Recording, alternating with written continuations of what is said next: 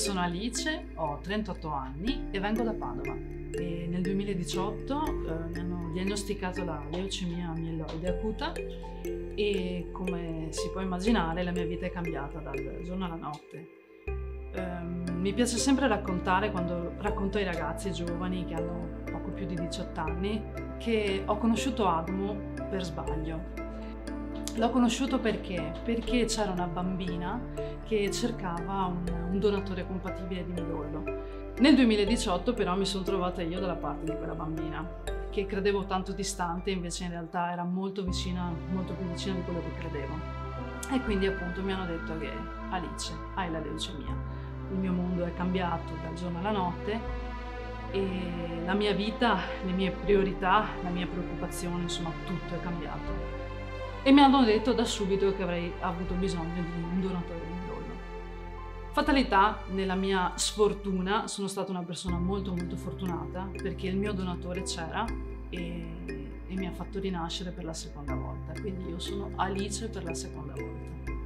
Questione Covid ehm, è stato mm, molto forte.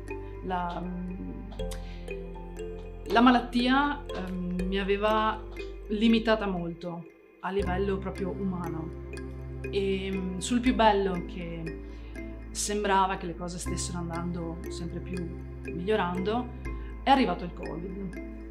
E il covid mi ha eh, ulteriormente ehm, buttato giù di morale ma anche a livello ehm, sì, psicologico ma fisico anche la parola che esprime la, la mia storia, cioè la mia situazione passata, è la forza.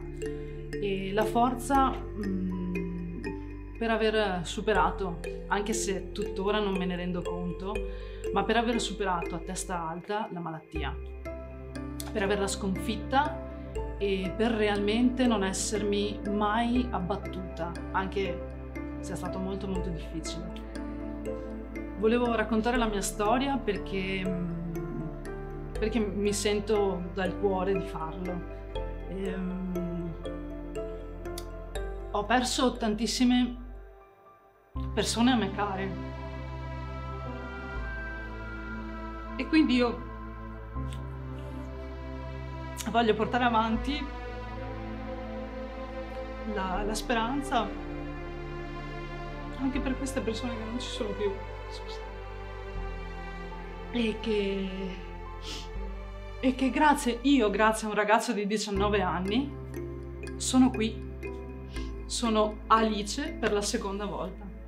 Ed è la cosa più bella del mondo.